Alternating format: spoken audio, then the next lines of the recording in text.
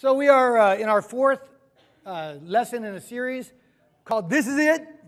And uh, it's all about trying to understand the impact of the kingdom of God when it came. Uh, they'd waited for it a long time.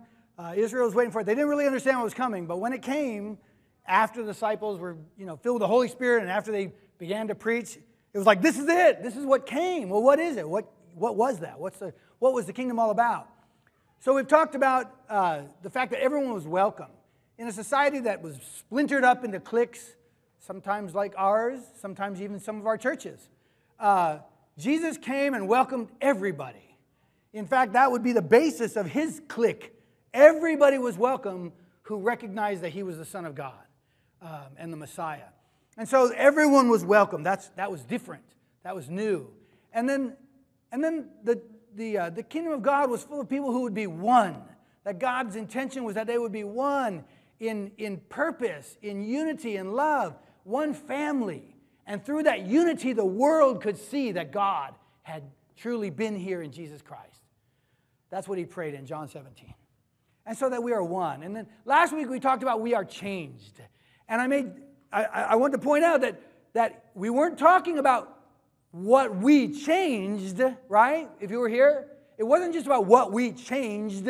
We might be able to talk about a lot of things that we changed since we became a Christian. I can, can you? Things we changed. But that's not what we were talking about last week. Last week we were, we were talking about we are changed. And we looked at passages of Scripture that show us that those who truly receive the grace and the mercy and the forgiveness and the love of God are changed by it and become loving and merciful and gracious and, and forgiving. We're changed by that. And so this week, we're talking about we are committed. We're committed. And um, there's a, a, way of speaking about committed right now, a popular way of speaking about. Uh, somebody will say, I'm all in. Have you heard that? I'm all in. He's all in, right? Where does that come from? Yeah, it, comes from, you know, the, the rise and popularity of Texas Hold'em, right? Texas Hold'em. And, um, and the thing about Texas Hold'em is, different than other, other sort of games of poker, is at, at any point, you know, in, in the game on your turn, you can move all in. You can just put all your chips in the whole tournament at stake on this hand, on these two cards. You can go all in. And so that's fully committing your, your tournament life, fully committing all your chips. You're all in. And it's interesting that sometimes when a person goes all in, and, and real amateurs won't do this, but sometimes when a person goes all in in Texas Hold'em, uh, they'll do so even with the worst possible hand. Anybody know what that is? The worst possible hand in, in Texas Hold'em is a 7-2 offsuit. It's just the worst possible hand you can start with. Okay? And there are times when, when a person, a professional, or someone who knows what they're doing, will go all in. It doesn't make any sense to some people. The, the guy might not want to do it, or the girl might not want to do it, but they still do it. Why? Because they understand the math. They believe in the power of the math in Texas Hold'em. And they just know if you get below a certain amount of chips in a tournament play, under 10 big blinds, they call it, you can go figure out what that is, but but if you do, you're pretty much sunk.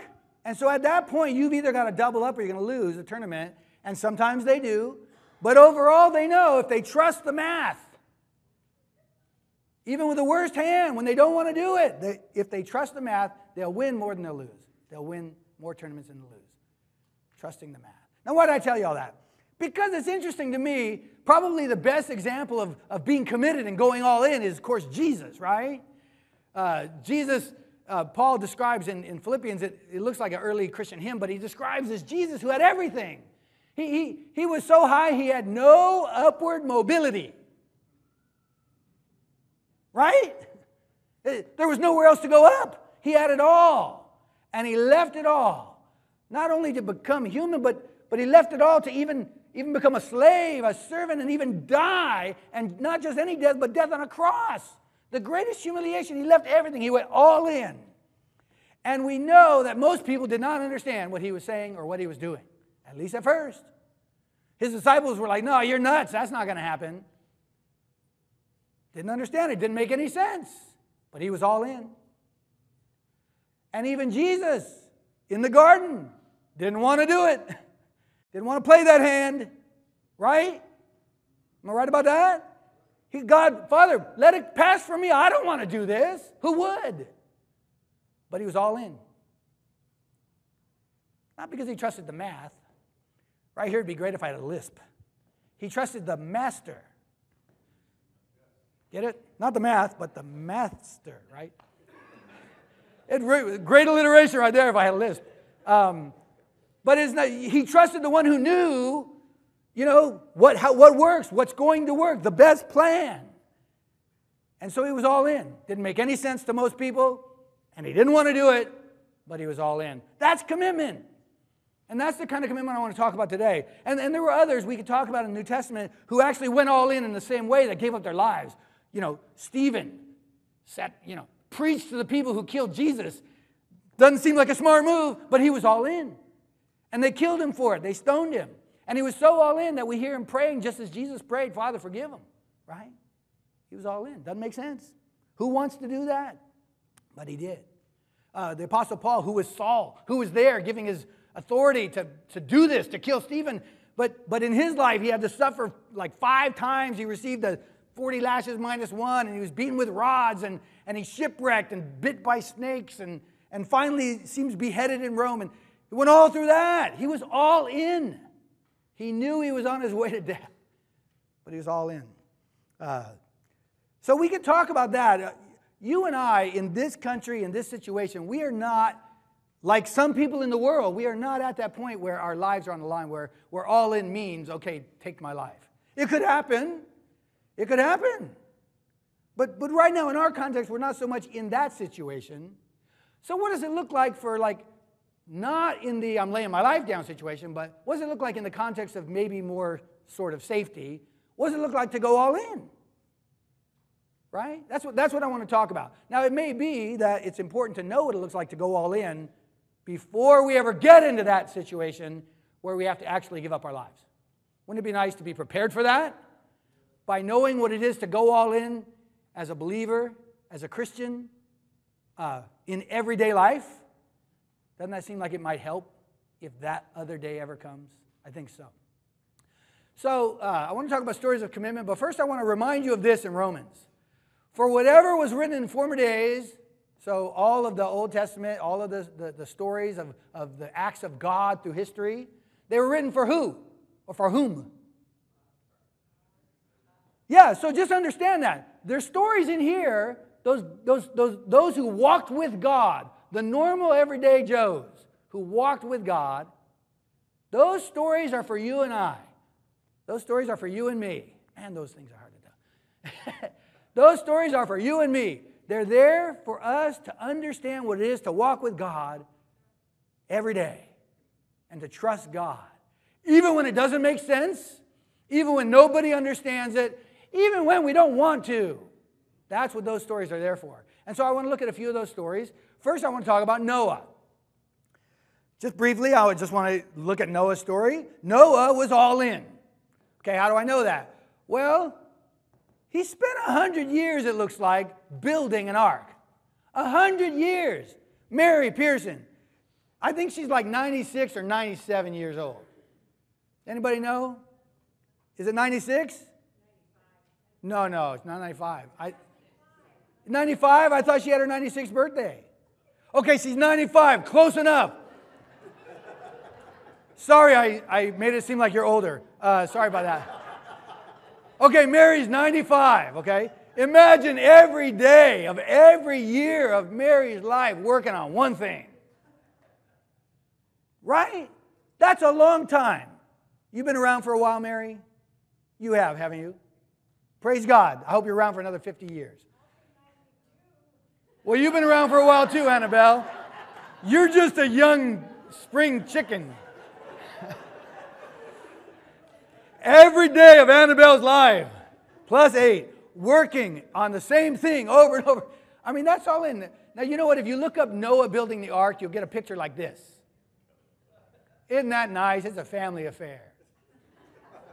Let me tell you something almost all the pictures look like this. I challenge you to find that in the Bible. I'm not saying it didn't happen. I can't say that for sure, but I can say this the Bible never says it happened that way. I'm just saying, the Bible never tells us that his family helped build the ark. Never says that. If it does, show me. I mean, maybe it does. Maybe I missed it. I've looked. It basically says Noah was told to build an ark, and it says Noah built an ark. And in fact, there's one passage where Noah talks about opening the window of the ark that he had made. Not that his family made, not that his family helped with, not that they had made, that he had made. I'm not saying maybe he didn't have, I'm not doing the maybe thing. I'm just saying all we know for sure is Noah built an ark. So for a hundred years here he's built an ark. I don't know if his family was with him. Maybe they thought he was nuts. I think everybody else probably thought he was nuts. What kind of house is that? And why is he building this so big? And who would want to live in that thing? Right? For a hundred years, people are thinking he's nuts.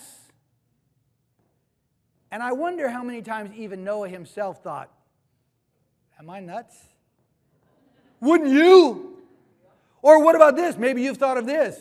What if I get all the way down the road? I've been doing this for a year. I've been doing this for 10 years. I've been doing this for 50 years. And what if I get all the way down the road and nothing happens? God's told me to do this and I've done it for a hundred years and then nothing happens. Not only am I a laughing stock, but now there's a monument to my foolishness for the rest of my life. Every day, people are going to be walking by. Ha, guess who that was? You heard of Noah? Yeah, that's him. Probably after he dies, it'll still be there. They'll put up signs and come take the tour about Noah. You ever think that way? You think, well, uh, you know, you start to question and wonder. And so Noah was all in. I think we can learn something from Noah. Even when everyone around us sees things differently, or even thinks we're a little nuts, keep building your ark. Just keep building your ark. Walk with God, trust God, trust the, not the math, trust the master. Trust the one who knows. You know what? Noah won that tournament. He did. God kept his promises. God was faithful. Unfortunately, the rains came. Noah built the ark, saved his family. Build your ark. Walk with God, trust God, and build your ark. Another guy, Abraham. Abraham was all in. This guy was already old when God called him. He was 75. Say, oh, yeah, but they lived a lot longer back then. He only, I, don't, I think it's 120 or so. He didn't live that much longer. This was the other side of his life. It was the last half. He was already old when God said, Hey, I, I want you to leave the safety and security of the numbers, and I want you to branch out on your own with just your family, and I want you to go to a place where everybody's probably going to want to kill you. I mean, he didn't put it in those words, but that's the word. That's, that was life. There was, there was no great peace, there was no great safety. The only safety was really in numbers. And so here he is, he's already an older guy, but he goes all in. Maybe because, well, he has no children and his name's going to die out, and that's the worst thing that could happen, so he doesn't want that to happen. And, and so he puts his faith in God, and he says, well, if I'm going to have an heir, God says I will, and it's the only way I'm going to do it, so I'm going to follow God. And we know his following God looked like this. We know it wasn't perfect, but he went all in. And it's like, okay, God, uh, you promised me I'd have not only children, but like the sands of the sea or like the stars in the sky. Okay, I'm going to go all in. And he does. But after a while, he's like, you know, I'm getting kind of old here. And so uh, in Genesis, uh, well, this is what God promised him I'm going to make you a great nation. But after a while, so here's Genesis 15, Abraham said, Oh Lord God, what will you give me for I continue what? Why did I leave in the first place?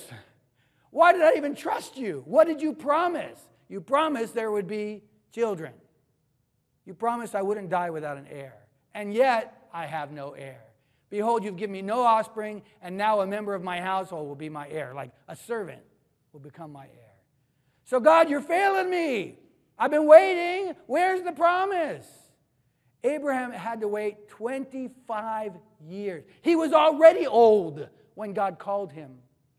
He had to wait, and through those years until he was 100 years old, he had to watch as the possibility, which was already far gone, the possibility of having children came and went completely.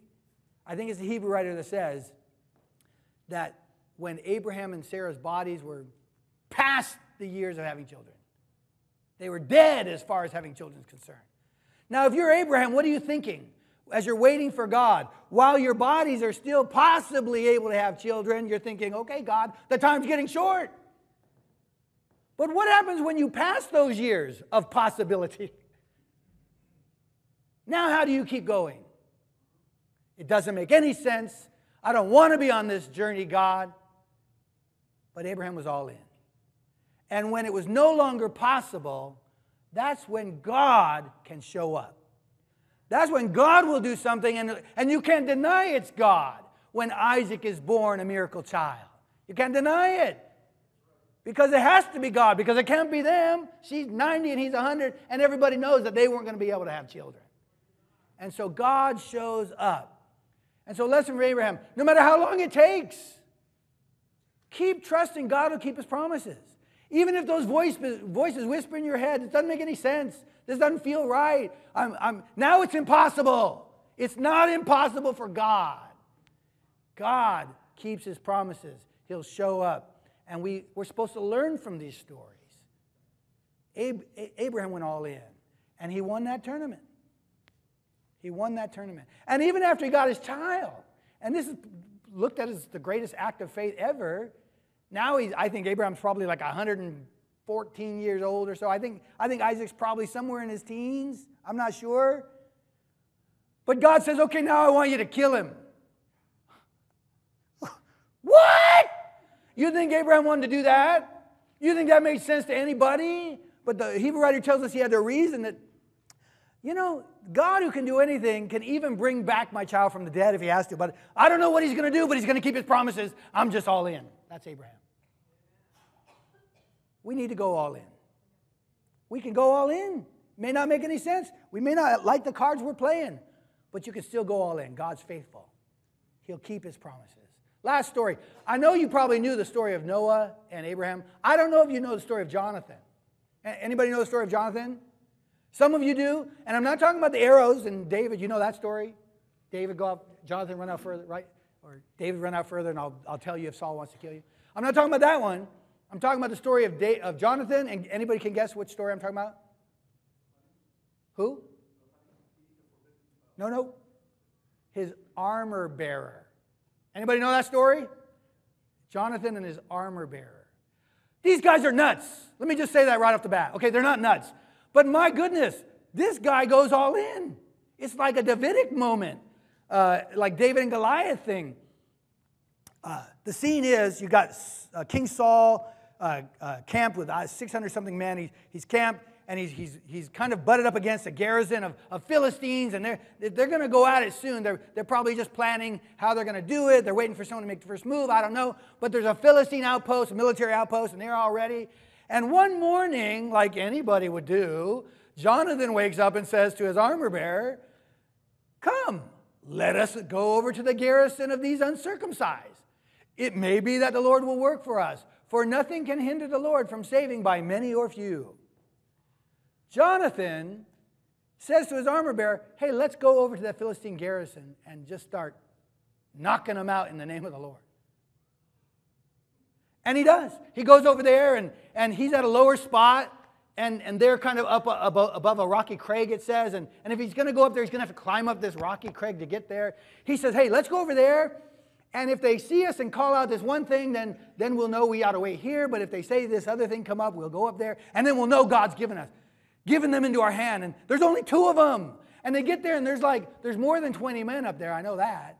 Because, because when the Philistines say those words, Jonathan's like, hey, they're all ours. Let's go. And they climb up this rocky crag and they just start wiping out the enemies of God. And, and, and the camp gets so stirred up that, that the Philistines are woken up with this fear that, oh no, what's happening? We're being attacked. And they start going crazy and even hitting each other and killing each other with swords. And, and it gets all this big tumult. And Saul's camp hears about it. And Saul's like, what's happening over there? Did, did we send a band over there to attack? I mean, how many did we send? So they count all of their people. And they find out there's two missing. That whole thing, there's two missing. But it wasn't just two involved, was it? Jonathan didn't think it was. There was Jonathan, and there was his armor bearer, and there was God. And Jonathan was like, If God is for us, who can be against us? But you know what else is amazing? His armor bearer. His armor bearer says, I mean, who, you know what? If I'm the armor bearer and, and, and my, uh, my Lord or who, my, you know, whoever he is, my, my guy, my, my warrior, he says to me, Hey, I got an idea. Let's go attack the garrison of Philistines, right? Before he turns around to see my reaction, there's going to be a pile of armor. That's all he'll see because it doesn't make sense to me. I, but his armor bearer says, Do all that's in your heart, do as you wish. Behold, I am with you, heart and soul. Isn't that amazing? Not only was Jonathan all in, his armor bearer was all in. Here's something we can learn from Jonathan. When God provides an opportunity, be bold. Trust that God is on your side. Listen, I'm not saying go out and beat people up with your Bible that don't want to hear it. Uh, maybe the soil's not prepared there. I, I, I don't think it's, it's valuable just to, to go up and dump all your seed on the path. Okay? While you're casting it, some may go up there, that's fine. But to go attack the path and think you're going to do any good, I don't think so. But if God is truly giving you an opportunity, if there's somebody who's hurting and in need of help and have no hope, and, and you've got good news, and you've, you've got a source of peace and forgiveness and, and, and mercy and healing and power, say something. Don't worry that, well, maybe, they'll, maybe they, they, they won't like if, me if I say it. Maybe they won't like what I say. Maybe they'll argue with me. Forget about all that. Trust that God is on your side. Trust that He provides an open door. And let somebody know about Jesus. Does that make sense? I mean, my goodness, Jonathan and his armor bearer are willing to, to go up there and get slaughtered with a sword for the sake of God's kingdom. And now we're being called to, to push all in, to trust God and push all in. The last group I want to give you is so the early disciples right away when they were saved, all of them didn't. Here, let me look over here for one second. Okay. so I want to just run through this real quick. These guys immediately, uh, even though the Sanhedrin maybe have been a threat, they didn't immediately like be facing the cross themselves. They didn't immediately be facing death themselves.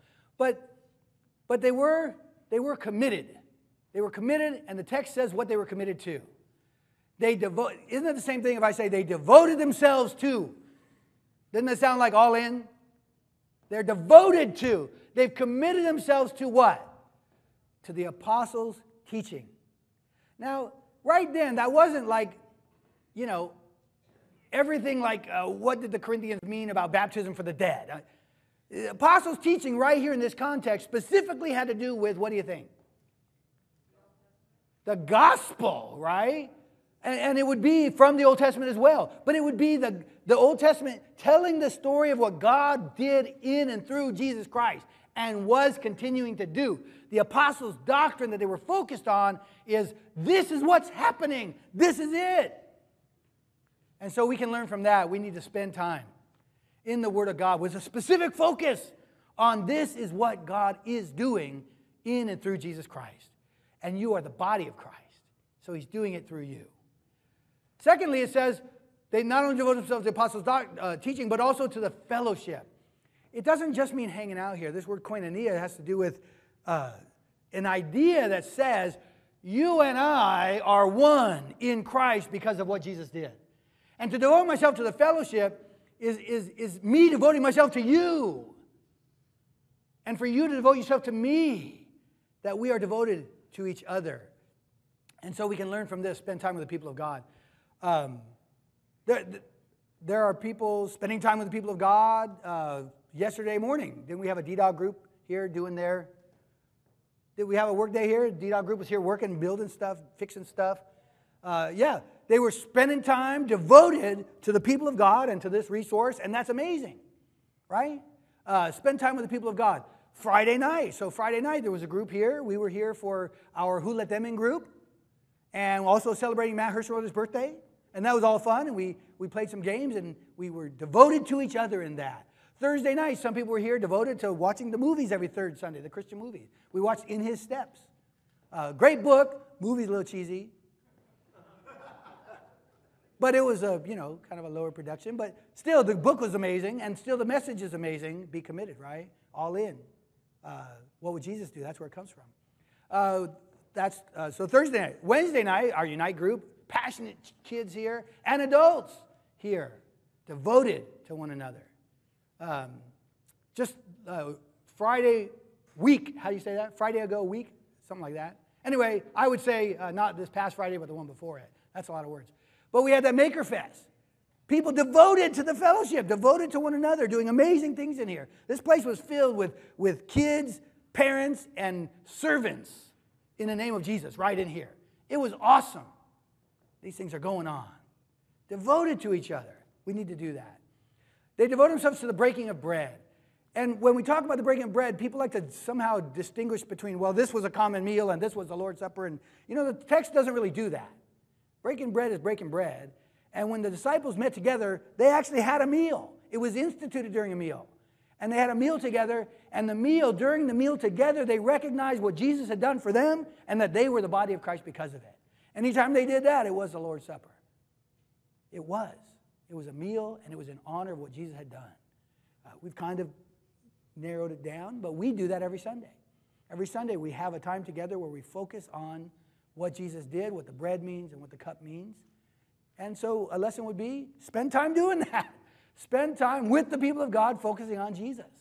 And besides our communion service, we have our growth groups. And our growth groups are specifically designed for us to spend time with the people of God focusing on Jesus. So get involved in the growth groups. We're going to be starting a new setup after the holiday, after Christmas.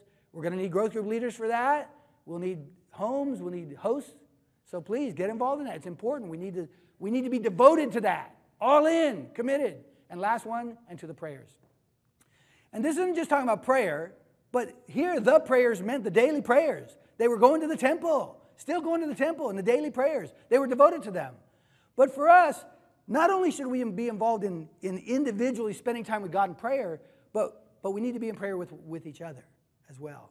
And Wednesday night, uh, the Foresters have a prayer group back here you can join and be part of. We've seen a lot of healing through that. Uh, you can make use of that. So, so this church is involved in these ways, but these are the kinds of things we need to be devoted to. If you're not devoted to them, this is how the early church went all in. And I believe if we go all in and trust God in this way, in these ways, that ultimately, um, if that day comes where we need to go all in like the martyrs did, uh, we'll be prepared. Okay? We're going to sing a song. Kent's going to come up and, and lead us. If you have any cards you can left, you can turn them into the center. And uh, please stand up right now as we sing this song.